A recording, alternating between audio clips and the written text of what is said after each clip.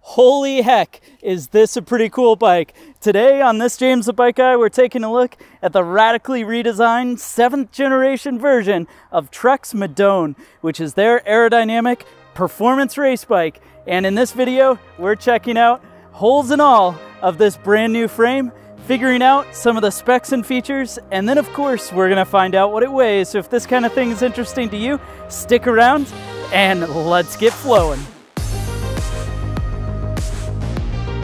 At the risk of another flow or hole joke, this is the new Trek Madone Gen 7, and it features that thing back there, which is kind of the most important part, or most drawing, I might should say, part of this bike, the ISOFlow rear end. Now, Trek Madone has been around quite some time. It's their quintessential race bike, and in the last several generations, it's been their aerodynamic race bike. So Above all else, aero is faster, and that's what they've been focusing on. But in this new generation, they've done a lot to save some weight, retain some compliance, make a comfortable bike, and then also have a greater fit range as well. And those are the things we get to talk about. But before we go too far, this being the Madone SLR means that this is made out of their 800 series OCLV carbon fiber. The bike just came out, and I imagine sometime in the future we'll see an SL level, which would run typically their 500 series carbon, but that bike is not yet announced. So right here, we're checking out the Mac Daddy version. Now, this being the SLR 7 means that this is a Ultegra drivetrain, Di2 drivetrain. They do make levels above this. And then Trek also has their custom program, the Project One system, which we'll talk about a little bit more because in my opinion, this is the kind of bike that most likely you ought to order through Project One. This new bike being a 800 series OCLV carbon fiber means that this is the top end carbon, same carbon they use on their lightweight climbing bike, the Emonda. And Trek has done a lot of things in the front end to help clean this bike up before we talk about that ISOFlow hole. So in the front end of this bike, they've changed up the cockpit system for better system integration, a connection to that front fork, which you can see is bladed and just, man, is this bike beautiful the way that it's set up. I really am digging the way it looks. But here you've got a slenderized front end, still really stiff and strong with a strong cross section going to that down tube setup, but full system integration for cables and routing. And this bike, I should mention, is electronic shifting only. Now, the Madone carbon handlebar, it's going to come in several sizes. And in fact, one of the neat things about it is going to be its setup. So if we look here, the top bar is three millimeters narrower than when we come down to the drops. And the drops have a slight flare to them. You see how they come out? That means when you're sprinting and you're in the drops, you're not going to have interference with the top of the bar. But then there's also that reverse rake on the carbon handlebar setup to help with its aerodynamics and fit.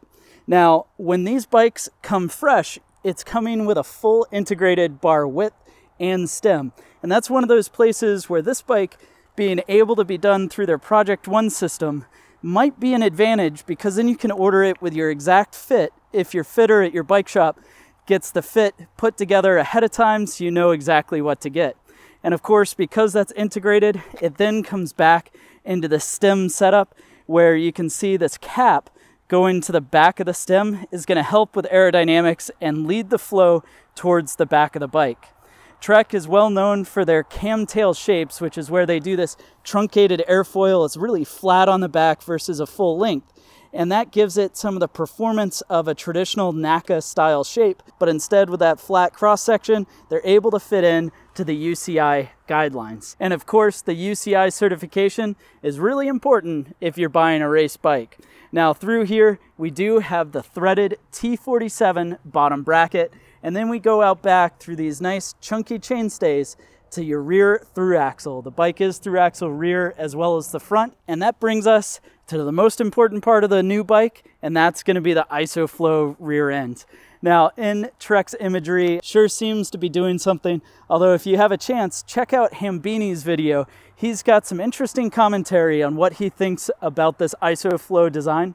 But the idea here is it's going to allow air to come through, help optimize some of the aerodynamics of the bike, but it's also going to allow them to still get some of that comfort that came on the prior generation.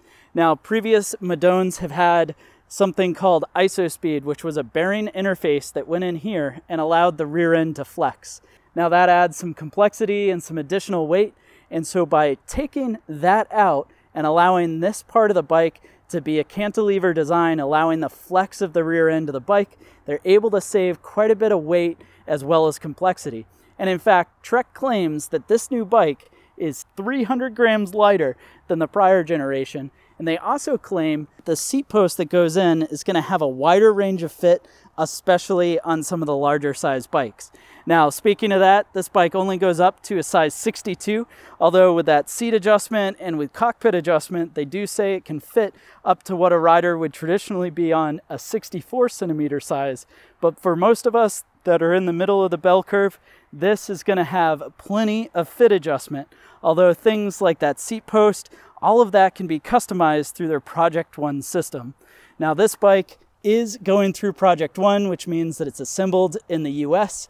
Project One also allows you to do different paint options, custom setups there.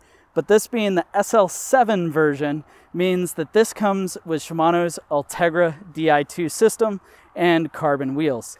And for that, you pay $9,050 at least in February of 2023 and you're getting a pretty solid part spec, but really paying for the best level frame that Trek has on offer. And connecting that bike to the ground is this Ultegra Di2 12 speed drivetrain. So we've got 12 gears in back, goes through that threaded T47 bottom bracket. It's all electronic shifting, which of course is important on a bike that's electronic shift only. And to help it slice through the air, is Bontrager's own Aeolus Pro 51.